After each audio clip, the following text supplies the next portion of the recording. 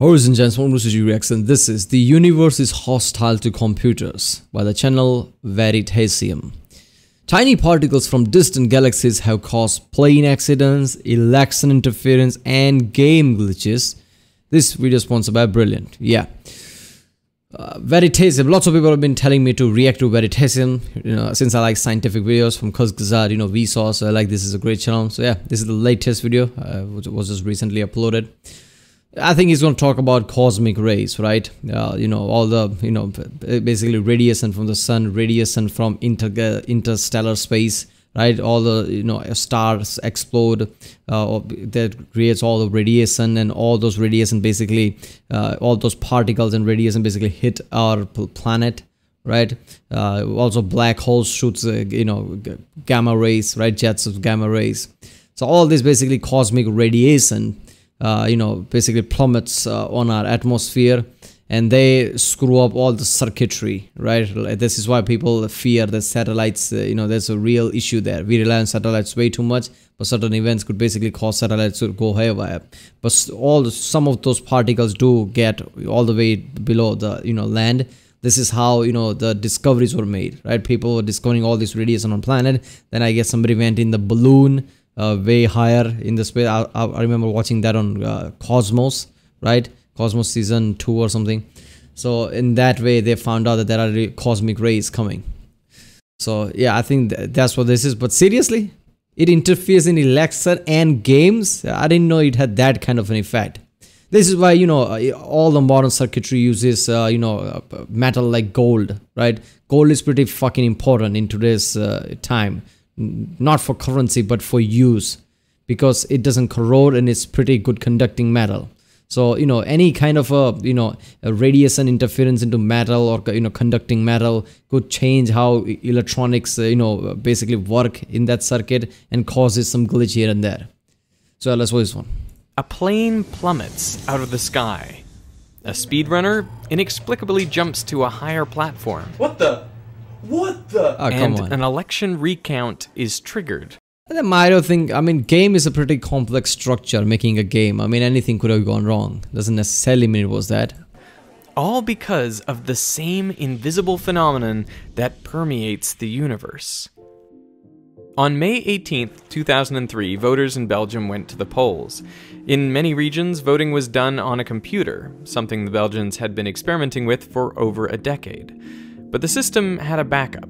Each voter would insert a magnetic card into the machine and make their selection on screen. Their vote was saved both to the computer and the magnetic card, which they dropped into a box for redundancy. Late that night, as the votes were being tabulated, one of the election officials detected a problem with the results from Schaerbeek, a municipality in central Brussels. Maria Vindevogel, a little known candidate with her own party, received more votes than was mathematically possible. They knew this because of the way the preferential voting system works. So they took out the magnetic cards and started a recount. One by one, they fed each of them through the machines again. And after several hours, the recount was complete. The vote totals for every candidate were exactly the same as before, except for Maria Vindevogel. In her case, the recounted number of votes was less than the original by 4,096. So what went. Ooh, that's a fucking difference. 4096. Wait a minute. Yeah, that is what a 1 gigabyte is, right? 4096 uh, MB. So I guess error could have made in that sense, I guess 2 to the power of 12 if I remember correctly. Wrong. How had her original tally been inflated by over 4,000 votes? Computer experts were brought in to run extensive tests on the software. They combed through the code but could find no bugs. They got the computer that had made the initial erroneous tally and tested the hardware again and again, but they could not replicate the error. Everything about the hardware seemed to be in perfect working order. And this left only one possible explanation, and it is seriously weird. The clue comes from the excess number of votes Vindevogel received. 4096. Computers work using binary, strings of zeros and ones, each corresponding to a power of 2. So, somewhere inside the computer tabulating all the votes was a string of bits representing the number of votes Maria received. It started the day all zeros, and then as each vote for her came in, it would increment by one. Physically, this is done by turning on a transistor for 1 and turning it off for 0. What's remarkable about the number 4096 is that it is exactly a power of 2, Yeah, 2 two to the power of 12. That is the 13th bit. So for Maria Vindevogel to receive an extra 4096 votes, only one thing needed to happen. Yeah, when I was a kid, I discovered that like why are the bits are like that, 4096 and so for 1024 because of the you know power of two. The 13th bit had to flip from a 0 to a 1. But why would that happen? Computers work precisely because bits don't flip unless we want them to. Or do they? Looking into the problem, Belgian investigators found reports of similar issues from big computer companies starting in the 1970s. In 1978, Intel reported some strange errors popping up in their 16 kilobit dynamic random access memory, or DRAM. Ones would spontaneously flip to zeros with no apparent cause. The problem turned out to be the ceramic packaging the chip was encased in. With the demand for semiconductor packaging skyrocketing in the 1970s, a new manufacturing plant was constructed on the Green River in Colorado. Unfortunately, this site happened to be just downstream of an old uranium mill. Radioactive atoms made their way into the river and then into the ceramic packaging. Yeah, that would do it, right? All the you know radioactive elements basically altering uh, you know the structure of the you know conducting metal. Basically, that would fuck up uh, the processing of that chip. This is why you know uh, all these chips and all the you know computer parts processor uh, has to be uncontaminated because electricity basically you know uh, go, just goes haywire, right? It's, it doesn't work as supposed to if there are you know unwanted radi- radioactive particles there. for Intel's microchips. Intel scientists investigating the problem found that even trace amounts of uranium and thorium in the ceramic were sufficient to cause problems. Yeah. In their DRAM, memory was stored as the presence or absence of electrons in a semiconductor well. The alpha particles emitted by uranium and thorium were energetic and ionizing enough to create electron hole pairs in the silicon. If an alpha particle struck in just the right place, it could create a large number of free charge carriers, causing electrons to accumulate in the well, flipping a 1 to a 0. This is known as a single event upset, a type of soft error. The error is soft because the device hasn't been damaged. The bit has changed, but you could erase it and rewrite it with no problems.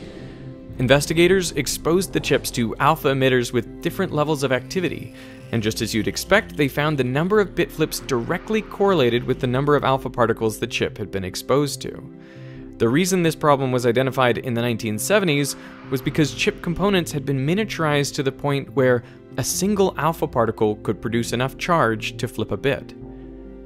Immediately, these findings attracted a lot of attention. Before the paper was published, it was widely circulated in the industry, and as a result, chip manufacturers were a lot more careful to avoid radioactive materials when producing their microchips and packaging. Yeah. Therefore, the bit flip that gave Maria Vindevogel 4,096 extra votes wasn't caused by natural radioactivity in the computer. So, where did it come from? Space. After Henri Becquerel discovered radioactivity with uranium in 1896, scientists sought a way to measure it. How radioactive were different materials? And one way to do this is with a gold leaf electrometer. When it's charged, the leaf is repelled, and you can measure the amount of charge by the angle of the leaf. Now, if ionizing radiation enters the chamber, it rips electrons off air molecules, creating positive and negative charges. Opposite charges are attracted to the leaf, discharging it over time. The higher the level of ionizing radiation, the faster the device discharges. In 1910, Theodor Wulf took his electrometer to the top of the Eiffel Tower. Since radioactivity was found in the soil and rocks of Earth, he expected that 300 meters up, the radiation would be just a few percent of the ground radiation. Yeah, it would have been something, right? At the time, learning that there is just radiation everywhere, thinking the radiation is probably originating from Earth, right? So they were testing it on the ground, and now Eiffel Tower soon, somebody will take it balloon all the way up. Instead, he found only a slight decrease. In 1911, Austrian physicist Victor Hess decided to take this experiment further. Literally. He loaded electroscopes into the basket of a hydrogen balloon. In his first two flights, he observed the same thing as Wulf. Up to an altitude of 1100 meters, both trips revealed no fundamental change in radiation compared to the values observed on the ground. But the next year, he conducted seven balloon flights up to an altitude of 5,200 meters. And here, he discovered something remarkable. While there was an initial drop in radiation for the first several hundred meters, above one kilometer or so, the level increased with increasing altitude. At his maximum height, the level of radiation was several times greater than it was on the ground. The radiation appeared to be coming not from the Earth, but from the sky. Hess scheduled one of his balloon flights during a solar eclipse, and as the moon passed in front of the sun, he carefully watched his instruments. But the readings were unaffected. Even with the sun half covered, the level of radiation was the same. Since no influence of the eclipse on the penetrating radiation was noted, I mean, you have to wait eight minutes, right? It takes eight minutes for you know light, radius, and everything to reach uh, Earth. But even then, okay, sun's radiation does affect it, but I don't think sun's radiation is you know that bigger portion of the radiation. It's usually cosmic ray, interstellar rays that constantly bombards the Earth uh, atmosphere. That is why the magnetic field pushes it on, on, onto the you know North Pole and South Pole, and you see all the great uh, you know uh, auroras obviously most of them also comes from the sun but it's you know lots of you know cosmic rays also get deflected Th- this is why people worry about mars like people trying to colonize mars or there is no magnetic field there how are you going to go around that? What are you going to pump uh, hot liquid iron inside the core or something? So that is a real issue but uh, yeah cosmic rays bombards uh, everything. Too much right? And that that's inside our solar system which is not that much. As soon as you go outside of you know a sun's magnetic field right out of the Oort cloud you get bombarded with cosmic rays even more. That's what voyager felt we conclude that even if a part of the radiation should be of cosmic origin, it hardly emanates from the sun. Victor Hess had discovered cosmic rays, high energy radiation from space. But what were these rays exactly, and where were they coming from? Well, today we know they aren't electromagnetic rays as many suspected, but particles. Around 90% are protons, 9% are helium nuclei, and 1% are heavier nuclei. Some of them are from the sun, but they have comparatively low energy. High energy cosmic rays, moving very close to the speed of light, come from exploding stars, supernovae, in our own galaxy and in others and the highest energy particles are thought to come from black holes, including the supermassive black holes at the centers of galaxies. But it's hard to pin down exactly where cosmic rays come from because, as charged particles, they're deflected by magnetic fields in space. So they can wind their way through the universe for billions of years.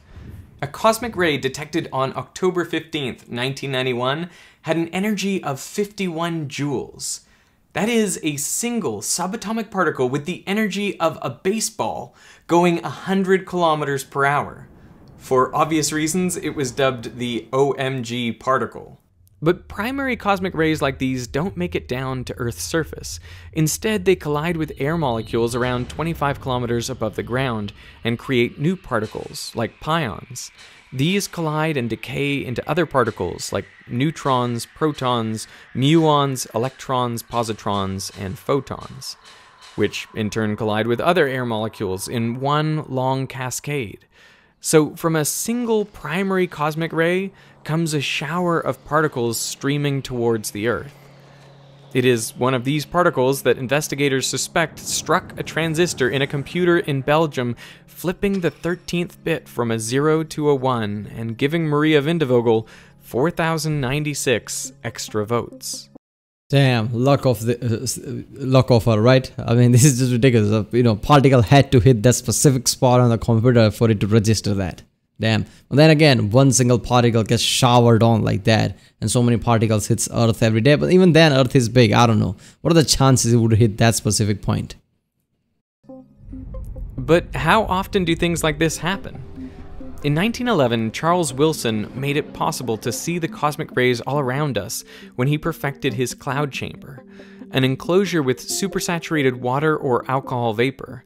When a cosmic ray passes through the chamber, it ionizes the gas, causing vapor to condense into tiny droplets on the ions, revealing the path of the particle. Alpha particles, helium nuclei, leave short, thick tracks, while beta particles, electrons, leave long, skinny trails. In 1932, Carl Anderson identified a trail that looked like it was made by an electron, but in the applied magnetic field, it curved in the wrong direction, implying it had a positive charge. Ah, uh, positron. Anderson had found the anti-electron, or positron. It was the first confirmed sighting of antimatter. Four years later, also using a cloud chamber, he discovered the muon, again in cosmic rays. For his discovery of the positron, Anderson was awarded the Nobel Prize in Physics in 1936. He shared the prize with Victor Hess, the man who discovered cosmic rays in the first place, invisible particles that affect our lives in ways most of us are oblivious to. This is possibly the rarest thing to ever happen in a video game. In 2013, user Dota Teabag was speedrunning Super Mario 64 on the console. In the level Tick Tock Clock, he suddenly upwarps onto a higher platform. What the? Did you get invisible walls? What? Please say you got invisible. No, that was the craziest thing I've ever seen, though. The move shaves off a few seconds, and it seems like a newly discovered glitch in the game that could give speedrunners an edge. User Pannenkoek12 put out a $1,000 bounty for anyone who could replicate the upwarp. But so far, after six years, no one has been able to. The best explanation anyone can come up with is that a cosmic ray caused the glitch. It's been shown that a single bit flip in the first byte of Mario's height coordinate could have caused the effect. On the main level, the byte was 11000101, but if you flip the last 1 to a 0, it changes his vertical position. And just by chance, this new height coincides with the higher floor. Damn. I mean, are you sure that it is that? I mean, could be some internal glitch that it's not easy to, I guess, you know, find or predict because, you know, games are a complex structure. Like, uh, lots of code goes into that. But damn, if if this is real, like one of the cosmic rays did that shit, ah, the luck of this guy, right? Damn I mean, this this is concerning because uh, on the on a, on on the ground here in Earth, basically, you know, uh, all this uh, radiation is pretty not that high, but the radiation in space is even higher, right? So when when eventually we make uh, you know a solar system our backyard, basically constantly do space missions like it's like a commercial flight or something, and we need pretty advanced computers and chipsets there uh, what what would be the level of errors that we need to come up with something right that would block this uh, you know cosmic radiation to hitting this equipment. Otherwise this is going to be a massive problem. Pannenkoek 12 wrote a script to manually flip the bit at the right moment and was able to achieve the same upwarp. This is a particularly visible bit flip but the truth is cosmic rays are triggering bit flips all the time. An upset there transient there can alter the function of these devices and we call that a single event functional interrupt. So an entire process can hang. So a blue screen of death that you get might actually have been a neutron or whatnot. When people see the blue screen of death, could that be caused by a cosmic ray? Absolutely. These days, I mean, the chances would be low, right? But I, you know, I've had lots of blue screen of death. You know, all the computers that I've used so far in lots of times. Not in my latest one because you know, I guess uh, softwares are becoming better nowadays but in the past with windows xps and vistas basically around that time it was a lot of it. But usually you can narrow it down and i always did. Like there's an error in software or something is going on like some problem with the hardware. I've never had a blue screen of death that afterwards you can't even figure it out. There is literally nothing wrong with the system. It never comes again but it just randomly happened once. That has never happened to me. But imagine if that happens to someone and just go crazy trying to find out why it happened because blue screen of death happens because of a certain error here or there or maybe you fucked up but you can't pinpoint it down right when you can like computer is just perfect and it just happens once that would be freaky There are a number of ways computer chips are made resilient in the face of bit flips, like error correction code or ECC memory. But you can't totally prevent bit flips from happening. In 1996, IBM estimated that for each 256 megabytes of RAM, one bit flip occurs per month. And the main culprit seems to be neutrons created in the shower of particles from cosmic rays. Starting in 2009, Toyota recalled millions of vehicles due to the problem of unintended acceleration. We Oh, in the fast lane driving at about 70. Oh god, I remember watching that video from Nexpo, I think Nightmare Expo. In that, there was a family, right? It was a 911 call or something that was recorded. Uh, that this family, I guess, was accelerating or couldn't br- br- use brakes or something, something like that. Uh, the entire family was in the car, right? Behind there was kids and something like that. And they were just going through the lane, and the intersection was coming, and they knew that you know either car was accelerating or there was no brake or something like that. They knew intersection is coming, and you know that that scenario is so effed up because they knew calling 911 would, would not do anything because what is 911 going to do while a car is about to reach an intersection while it's there is no brake right? But they knew they knew that there is no other option this is the only thing i can do and they were panicking they were scared and the only thing they could do is call 911 and you can hear the panic in their voice kids and everything. By the last moment they suddenly panic and screams and that's it. That's the last thing you hear because they reached the intersection or something. Then I guess their car was flipped, uh, you know, over bridge or something like that. I don't, I don't remember exact instance, but that uh, that call was seriously fucked up. That scared me. Like all this, you know, cars being massively dependent on electronics is really scary thing, man. And he said that the car was continuing to accelerate and he couldn't bring it to a stop. Many speculated that cosmic ray induced bit flips in the electronic control system were the cause. So much so that NASA was called in to help with the investigation. But it turns out Damn, NASA. Th- This is why you know uh, this might feel weird for the you know the guy who loves science and advancement of everything. That I like my cars mostly, I guess, mechanical, analog.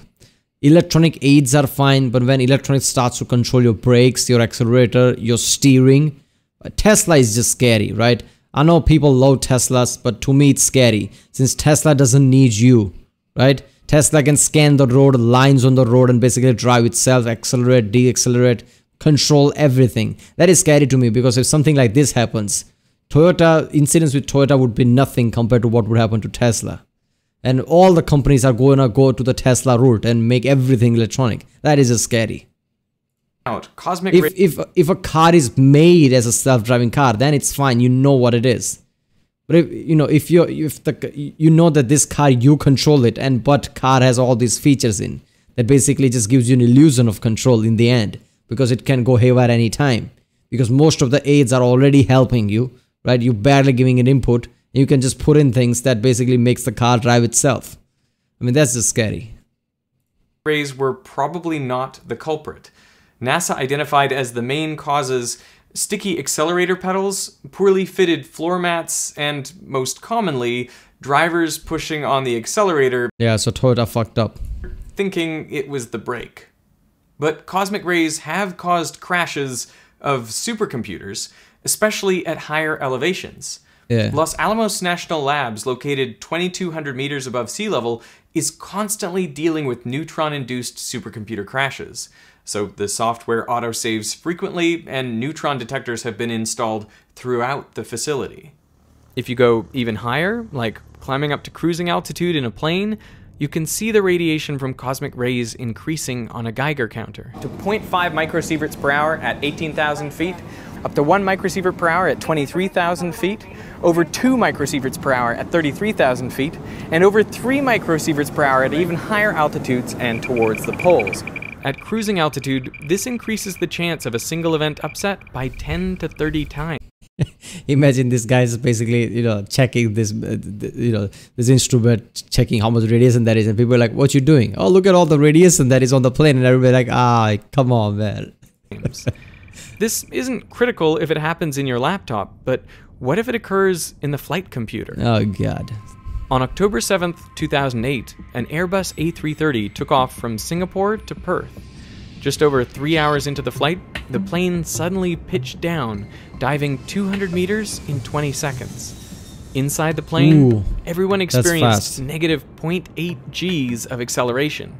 It would have felt like the plane had flipped over. The G-force was enough, Holy shit. even with our three-point harness, to lift us both out of the seat and push us forward as well. Minutes later, the plane dropped another 120 meters. 119 people on board were injured, many from bumping their heads into the ceiling. So the pilots decided to make an emergency landing in Learmonth. In the investigation that followed, the fault seemed to occur with the first Air Data Inertial Reference Unit, or ADIRU for short. This computer supplies critical data like airspeed, angle of attack, and altitude. The way it supplies each of these pieces of information is in a 32 bit binary word. The first 8 bits identify the type of information, and bits 11 to 29 encode the actual data. What seems to have happened is that a bit flip in the first 8 bits meant altitude information was mislabeled as angle of attack information. Inside the cockpit, alarms went on for overspeed and stall simultaneously, something that should be impossible. But the plane nosed down sharply to correct what it thought was a stall, throwing passengers and crew into the ceiling. Damn. Investigators looked into software bugs, software corruption, a hardware fail, physical environment factors, and electromagnetic interference. But each of these possibilities was found to be unlikely based on multiple sources of evidence. The other potential triggering event was a single event effect resulting from a high energy atmospheric particle Whoa. striking one of the integrated circuits within the CPU module. One of the challenges with single event upsets is that they are soft errors. They don't leave a trace. I'm not gonna lie, I did not start this video thinking I'm gonna be scared in the end. Holy shit, planes get affected too, but it makes sense in the end when you really think about it. Why wouldn't be planes affected? And all the electronics now the planes have, planes, you know, basically fly itself essentially. When you really think about it, the modern planes. That is just effed up, something like this happening. 0.8 Gs. People must have just, you know, suddenly got jerked out of their bending, you know, nose down like that. Holy shit. And um, probably people didn't have seatbelts on because when you fly, you don't have seatbelts on. So I bet people got flung off there. I don't know. But interestingly, the Airbus A330 was built in 1992, when there were no specific regulatory or aircraft manufacturer requirements for airborne systems to be resilient to single event effects. Oh. With the space shuttle, redundancy So now there are newer planes does have something in uh, place to make sure this doesn't happen. At least that's good. was built in from the start. For navigation and control, there were four computers simultaneously running identical software. If one computer had a soft error, the other three would overrule it. And using this setup, they could also track the frequency of bit flips. See, this is the thing. This is why people say that you know space missions are pretty critical for advancement of, uh, I guess, everything. Because when smartest people gather around to fix a problem in space, they come up with uh, you know miniaturization of computers, chipset, and we we get information technology and IT infrastructure that, that we have today. We get something like this, like okay, how are we going to counter all these computers basically getting bombarded with this particle? Eh, We'll just put uh, you know three compu- three processing computer there. So if one goes haywire, other two would know and stop that. So we get solutions that we wouldn't have thought of otherwise. Because why would some genius just think of a problem to solve unless uh, you know they are really want to, right? They see a challenge. Uh, the grooves around, you know, whenever you leave an interstate highway, right, and there are grooves on the road, so car doesn't spin off. That came from NASA. Nobody ever thought of before, like we should put grooves there so cars don't skid off and hit the, you know, I guess uh, sidewall or something but somebody thought okay this uh, you know uh, shuttle comes from the space. When it lands it's going to skid around. How we should solve it? Oh, let's put grooves on the pavement. Somebody thought that because they wanted to save a space station. Nobody's going to think okay how we supposed to save a highway you know accidental rate. Nobody's going to think that. No smart people is going to put effort in that. This is why we need space missions because that will basically resolve lots of issues that are present here On one five day mission, STS 48, there were 161 separate bit flips. Whoa. Above the atmosphere, cosmic rays are so energetic, sometimes you can even see them. Once in a while, you have your eyes closed and you're not asleep yet. And if you wait a little while, uh, you occasionally will see a flash of light. And we think it is uh, heavy particles or, or individual bursts of energy coming from radiation that are either going through the eyeball itself or going through the optic nerve. That would freak me uh, out. They, the way that your body registers radiation going through it is amazingly enough by showing you a little flash in one of your eyes, just to remind you that you are subject to the radiation of not only our sun, but every star of the universe that is that is radiating at you. I picture back to the That's a warning sign. Don't get comfortable, Sonny. You are in space. I could kill you anytime. the first astronauts who must have closed their eyes and seen that radiation and going, I'm not going to tell anybody about this because uh, no one's told me about it. I'm not talking. And I can just imagine the first two guys that said, Hey, I um, sometimes I see flashes of light. Do you see flashes of light? And then it's, Oh, we all see flashes of light. Oh, okay. Well, that's that's all right then. For missions to other planets, protecting electronics is critical. If a single bit of information controls a critical function on your spacecraft, let's say your thrusters, and that goes from a one to a zero, from a on to off, or vice versa, you could lose the mission. That's why the computer on the Perseverance rover that just landed on Mars is 20 years old.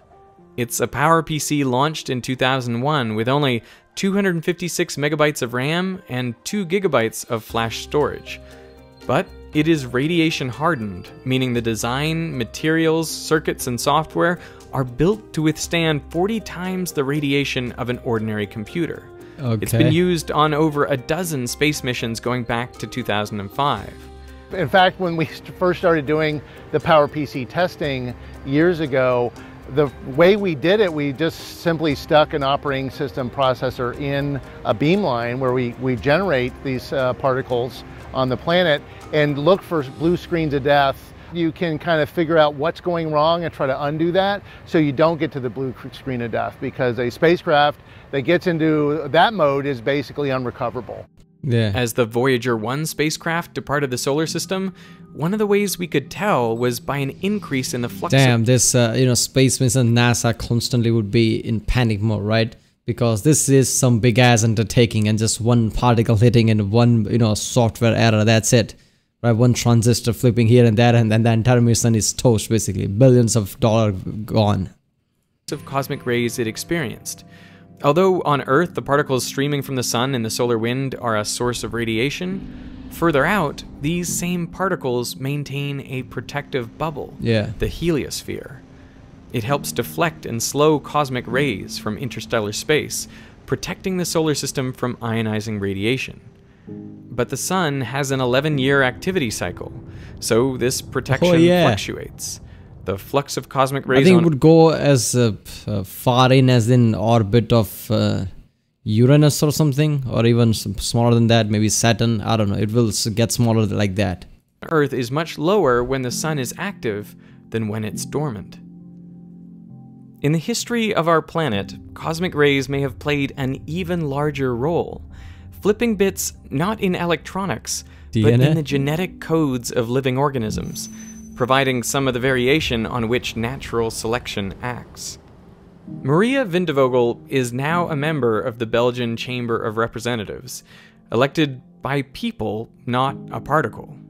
But her story is a reminder of the zillions of particles winding their way through the universe for millions or billions of years, one of which might, at any moment, change your life by passing through a tiny transistor. I mean, cosmic events literally aligned to make her, I guess, like you know, a, a winner. So you know, people later on think, okay, let's make her because if cosmic events are telling us we should elect her, yeah, let's elect her. and crash.